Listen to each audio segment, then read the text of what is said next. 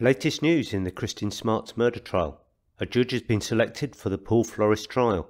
He is accused of the murder of Cal Poly student Kristin Smart. The trial was moved from Obispo County due to the high publicity the case has got there over the years, and the judge there decided that the defendant Paul Flores and his father Ruben, who's been charged with accessory, would not get a fair trial. The trial will now be heard by Monterey County Superior Court Judge Jennifer O'Keefe and will be held in Salinas. The trial start date was originally scheduled for the 31st of May, but at this time no notification of the trial has been posted on the Monterey County Superior Court calendar. Some experts have predicted that the case may still be months away from commencement. That's it for now. Further updates as events progress will be issued in due course.